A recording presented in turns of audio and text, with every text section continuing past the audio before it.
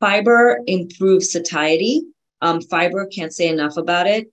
Really, you can't do um, too much with fiber because it, it is so helpful for reducing so many of the risks that we have for so many of the health issues. It improves satiety, it improves bowel movement. So in medical school, we learned that, you know, a bowel movement every three days is okay. That is not true. We want one to three bowel movements per day for everyone because it is a form of detoxification. Detoxification is really important because we are now having a lot of toxins that are coming at us through water and environment and our food. So we need our detox systems to be open. We need to be functionally, um, our garbage disposals um, are in the shape of sweat. So sweating is a garbage disposal. Um, you know, trying to get urine, obviously through kidney. We need to drink enough water to make light colored urine maybe a light yellow depends really eight to 10 glasses, maybe more if you're someone who works out in the sun, maybe some, maybe more if you're someone who sweats a lot, maybe some more if you're a high intense athlete. Water content really is variable, but at minimum, eight glasses a day. Um, there's some studies that show half your body weight in pounds is in the ounces that you need for water. Um, the other big place, so we said the sweat, we said kidney, we said bowels. The other big place is your liver. So supporting your liver with nutrients um, is really important. Um, but that is that is also fiber helps with healthy bowel movements, helps us detoxify that way. Reduces the risk for heart disease. It decreases cancer risk. It decreases overall inflammation. It actually turns off inflammatory pathways. It improves our glucose control and decreases obesity. Um, the goal, that, based on the RDA, is 35 grams for men and 25 grams for women. That is the basic minimum that people should get. The average American gets between 12 and 15 grams a day, maybe. Um, so we want higher is more. So uh, 35 grams a day might be where you start, but then you keep growing with it. The concept of fiber is challenging for some because they're not used to eating. They're used to eating maybe a bowl of blueberries a day, which has three or four grams in it. But there is um, that layered approach where you're combining multiple foods in one serving, um, kind of like that uh, Cava concept where you start with greens and you add quinoa and you add a grain and you add vegetables and you add beans and you add you know nuts and seeds on top. And all of a sudden you have you know 15 12 to 15 servings in one bowl which can maybe get you your whole requirement for that day. But you have to think about fiber. You got to go after it. You got to start looking at labels and looking at charts so that you can get a general idea. This is that important. You want to start. I don't usually ask people to calorie count or look at um, calories in general, but I do want to look at labels for the fiber issue and for the added sugar issue and for the fat issue. But this is a big one that yet less is more. I mean, so more is more. Um, and the biggest issue I hear back from people is I can't tolerate fiber. I can't eat fiber foods. They make me bloat. They make me feel uncomfortable. But that is a function of an unhealthy gut microbiome. So there are subsets of people who can't handle certain things like gluten, nightshades, um, certain types of fiber. And I think this is a function of your gut microbiome or like celiac disease, of course, is gluten issues. Um, don't want to mess with gluten if that's the case. And maybe 10% of people have a gluten sensitivity, and some people have issues with certain types of fiber, but it doesn't mean all fiber. So if you can't, if you don't generally like or can't tolerate, say, broccoli, it doesn't mean you shouldn't eat any cruciferous vegetable. It should also mean you try it different ways. You cook it, you roast it, you try it in different ways. But as your gut microbiome changes, as it starts to change, then you are going to start to be able to tolerate more foods that have fiber in it. So it's really important to know that you the concept would be to keep trying and don't discount an entire group of fruits or vegetables based on one, like one black bean. I can't tolerate kidney beans means I'm not going to ever eat any beans is not a good idea. You want to make sure you're trying things, even in the nightshade family. Some people get arthritic symptoms with nightshades, but if you are intolerant to, say, peppers, that doesn't mean that you are intolerant to potatoes and tomatoes and you know other things in that nightshade family. So you want to really be cognizant of not excluding entire groups because we want to be able to have multiple sources for getting fiber a day.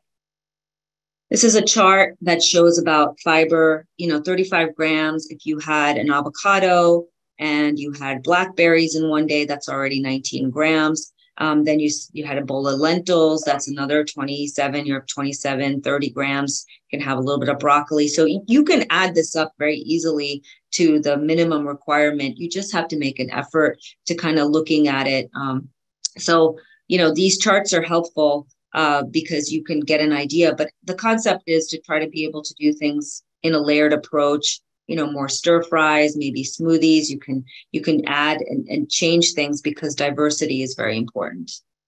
So the other way to grow our good microbiome is through probiotics and prebiotics ideally through foods. Um, these are also remember how important gut microbiome is how it is, is so important for turning on and off our genes. We want to create a diverse microbiome. So probiotic foods are very helpful to grow the, the guys that are the colonies that are in there, you just get more of them. But prebiotic foods are loaded in certain fibers that are non digestible and they just grow multiple colonies. So I'm trying to switch my patients to more of the prebiotic concept, um, whether it's from foods or we add supplements when we need.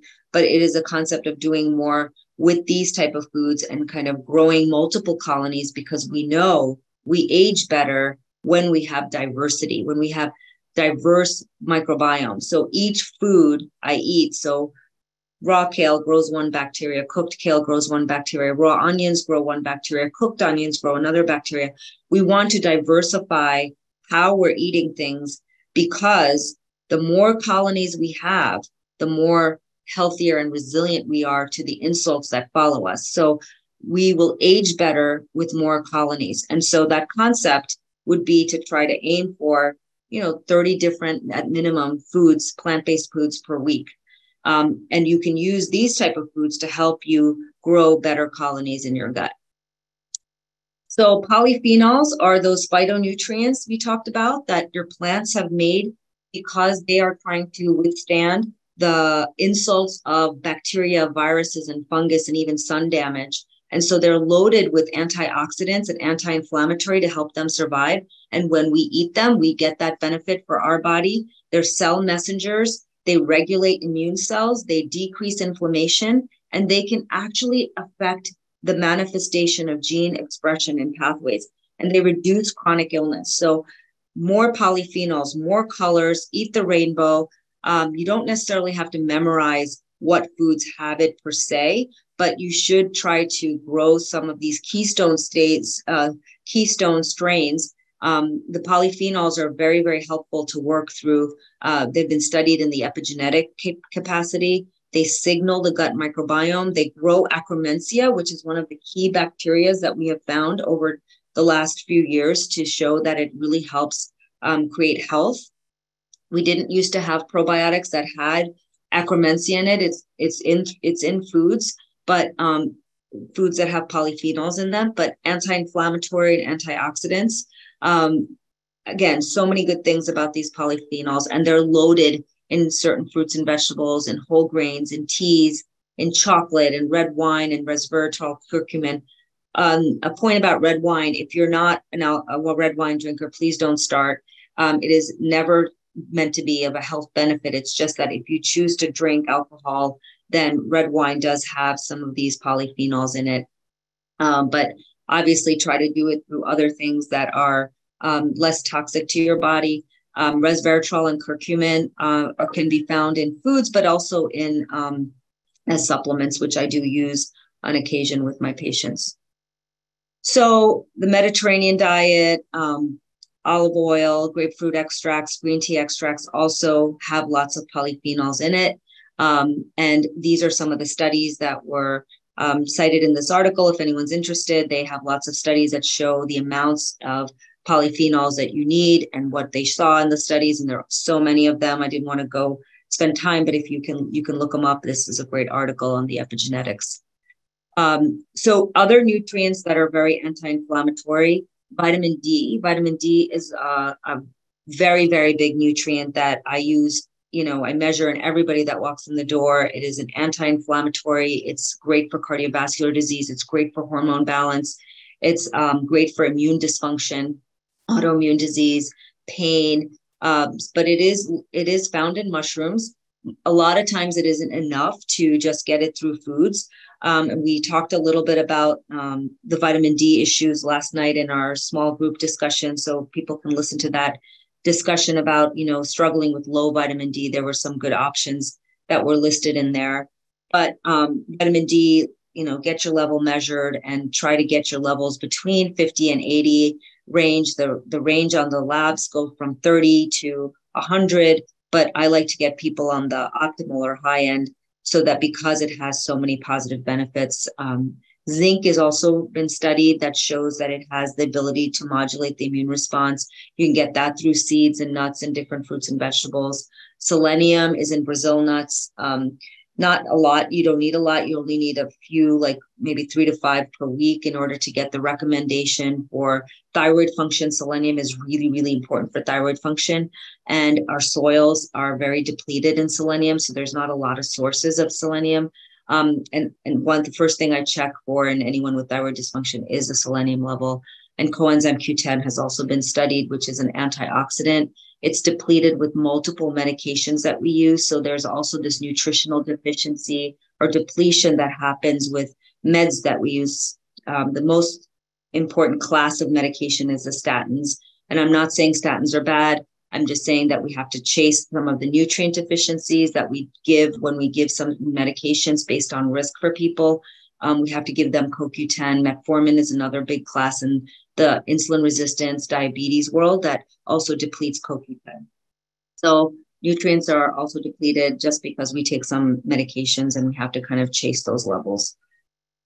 So phytonutrients, remember there's different colors. There's um, greens and oranges and reds and purples and whites. And so all of them are loaded in different antioxidants, different nutrients. So vitamin C and A, folic acid. These all are very, very new, you know, so many nutrients to talk about. Not enough time in this talk, but it's kind of like spices. Like there's just so much data and so much information to talk about that I would just want you to just start doing it, start eating it, just know you're doing your body good. And um, a lot of them help us age better. A lot of them help preserve our structural integrity, brain integrity, help our immune system fight off things like diabetes and heart disease again, another list of just the, the, the, different types of phytonutrients and what they're found in. Um, in this list, I will say that my preference is that everybody really focus on cruciferous vegetables because of the detox potential and the sulforaphane that's in there as well. Because um, cruciferous vegetables, especially for hormones, I do a lot with hormones, perimenopause, menopause in my practice, and one of the key players is you know getting enough uh, cruciferous vegetables in to help metabolize your estrogen. A lot of us are walking around estrogen dominant, um, and cruciferous vegetables are really loaded with them. And also want to mention sprouts. Sprouts are huge. They're just packed with nutrients and they're so wholesome. They take care of um, any sort of anti-nutrients that people talk about, like with the lectins. Um, that you can get a lot of nutrients packed into a little sprout. You can throw sprouts in everything, but specifically broccoli sprouts are one of the highest antioxidants out there. And so they're really, really helpful for lots of things in our body, specifically hormone problems. So um, just a small list for people to kind of look through, but um, everything on here is, you know, just add it, diversify it. There's nothing, you know, better than the other.